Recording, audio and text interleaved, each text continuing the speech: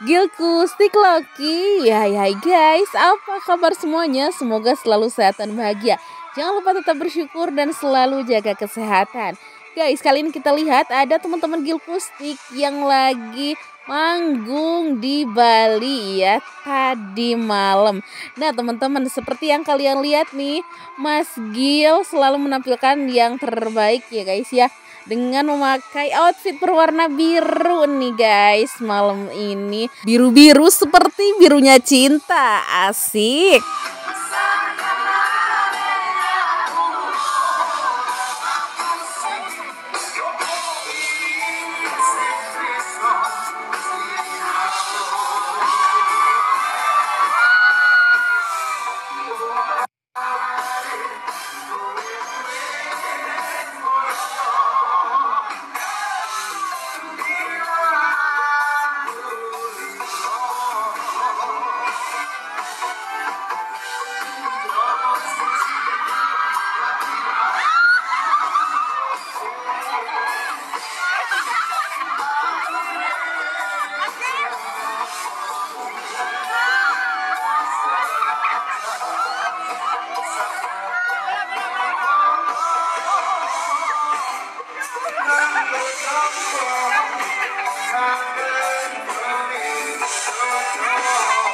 Oh ya guys, tadi Mas Gilga tuh bilang katanya kalian jangan salfok sama perut aku yang udah mulai ya mulai kelihatan agak-agak buncit gimana gitu ya guys ya.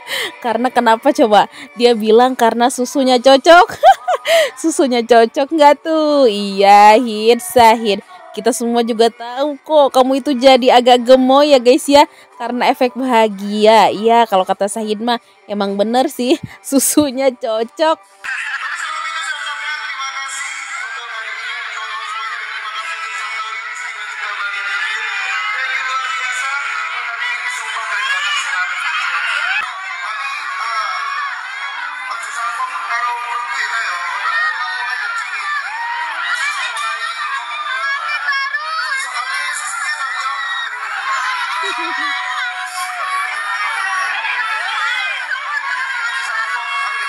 Oh ya guys, selain itu Mas Gil juga cerita ke para penonton katanya sebenarnya Bojoku itu ikut loh teman-teman tapi dia lagi di hotel berhubung tadi itu katanya sakit.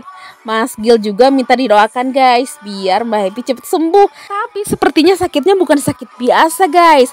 Kata Mas Gil gak dia itu lagi mual-mual. Wow, apakah pertanda? Kata Mas Gil semoga saja. Aku juga berharap. Kata Mas Gil pasti kembar guys. Waduh, doain guys yang kenceng. Semoga Gilty Junior cepet rilis ya guys ya. Udah gak sabar kan? Pengen punya ponakan online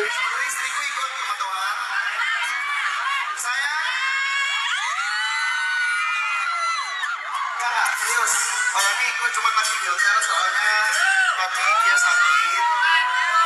Jadi kita doanya sekarang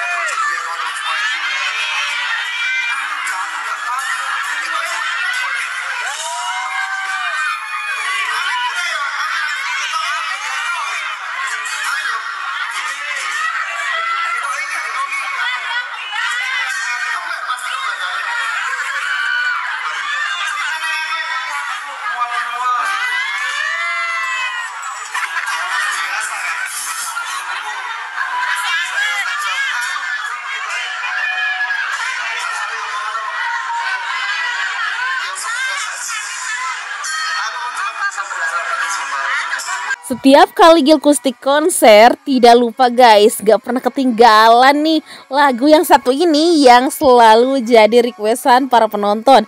Apalagi kalau bukan lagu Bojo Loro. Iya, lagu Bojo Loro ini emang banyak penggemarnya ya guys. Tapi sekali lagi ini tuh cuma lagu loh ya. Jangan pada baper, lagian seru-seruan juga ya guys ya.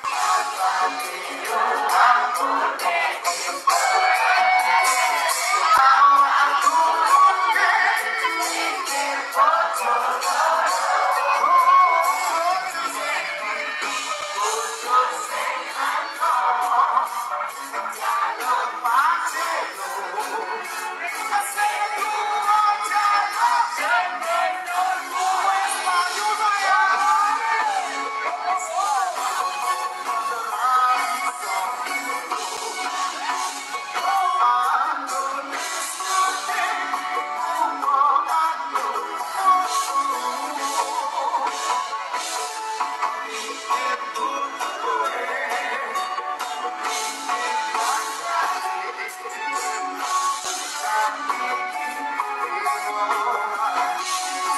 Duh duh duh baju loro baju loro jangan sampai ya guys ya yang cowok-cowok pengen punya baju loro soalnya kenapa coba?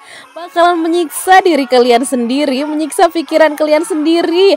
Belum mikirin belanjanya belum mikirin kebutuhannya. Yang satu minta ini yang satu minta itu. Kalau nggak dibeliin dua-duanya pasti cemburu sosial ya guys ya.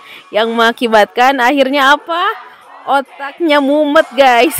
Kepala mumet nggak bisa tidur. Mantap nggak tuh